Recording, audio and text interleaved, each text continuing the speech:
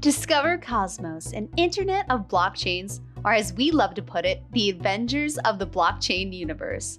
In this video, we are going to give you a comprehensive guide into the Cosmos ecosystem. Make sure to stick to the end of the video to find out interesting projects already existing in the Cosmos ecosystem. If you like to stay up to date on all things crypto, make sure to click on that subscribe button and turn on the notification. Also, follow us on Twitter, Instagram, and TikTok for all the latest crypto updates. Let's begin. What is Cosmos anyway? Cosmos aims to create a network of blockchains able to communicate with each other in a decentralized way. In simple terms, Cosmos aims to break barriers that exist between blockchains by allowing them to transact with each other. But before we go in depth in how it aims to do this, let's go a little back in history and see how Cosmos fits in the broader blockchain ecosystem. The evolution of blockchain. Cosmos is a product of evolving blockchain technology. That's why we will take a quick look at how far blockchain technology has come to what we know it today. Blockchain 1.0 the grandfather. This is where it all started. 14 years ago, Bitcoin came to being as the first application of blockchain technology. In his white paper, Satoshi Nakamoto, whose identity is yet to be known, detailed an electronic economic peer to peer system. That is Bitcoin and its underlying technology, the blockchain.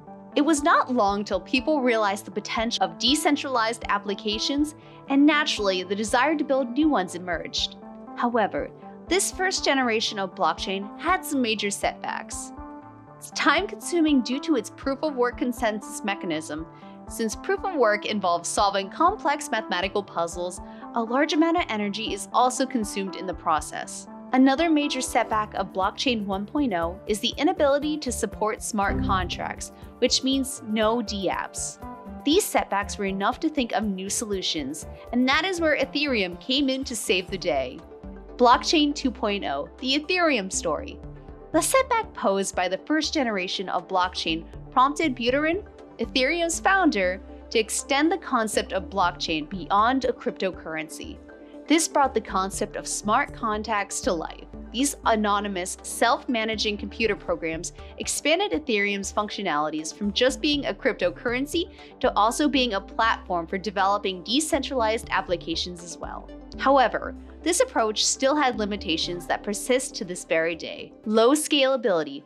Just like Blockchain 1.0, Ethereum's uses of proof of work consensus mechanism, which enables only 15 transactions per second. This is nowhere at par with its demand requirements, leading to network congestion and high transaction fees. Unsustainable power consumption. Making transactions uses a tremendous amount of computational power. Sovereignty.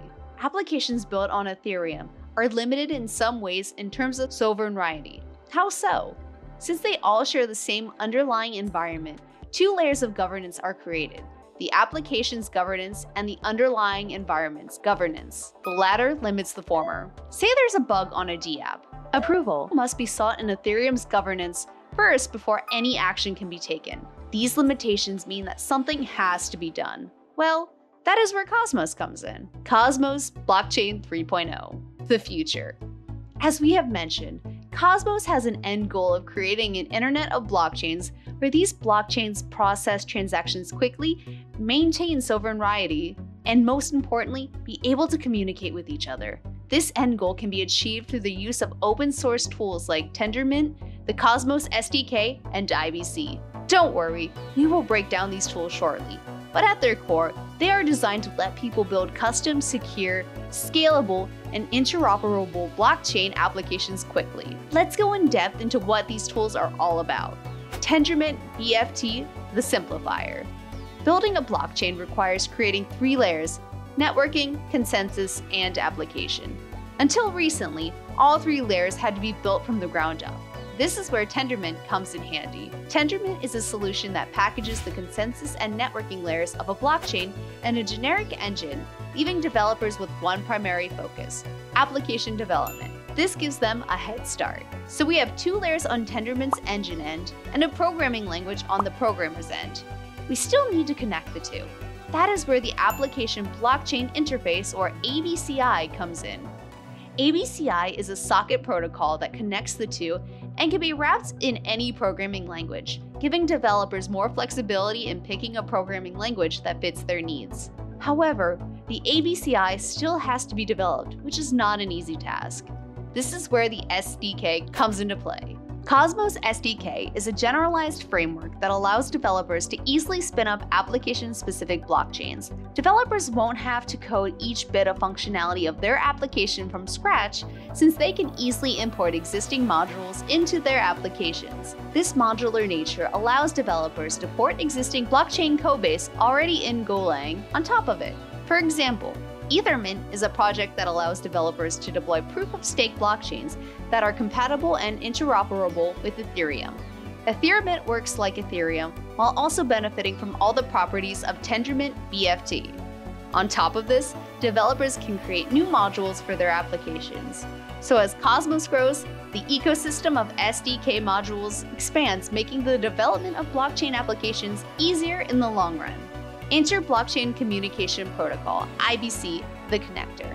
IBC is a protocol that allows heterogeneous chains to transfer value or data with each other. There are currently over 25 blockchains and counting built on the Cosmos SDK with IBC enabled. Cosmos Hub became the first blockchain in the cosmos of the ecosystem when it launched three years ago. Atom is the native token that powers Cosmos Hub. It is used for transaction fees, staking, and governance. Atom currently sits at position 21 in terms of market cap and is trading just above 27 US dollars. Other interesting projects in the Cosmos ecosystem include Terra, a blockchain for algorithmic blockchains, and just recently, Terra enabled IBC, which means it can exchange its native token. Luna across other IBC enabled blockchains. Crypto.com, a cryptocurrency exchange and wallet provider, also runs on the Cosmos network and is IBC enabled. Cosmos leads the next generation of blockchains.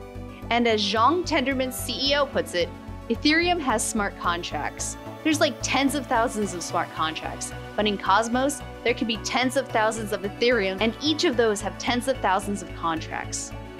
What are your thoughts on the Cosmos ecosystem? Let us know in the comments. Don't forget to like, subscribe, and follow us on all of our socials for future alpha. See ya!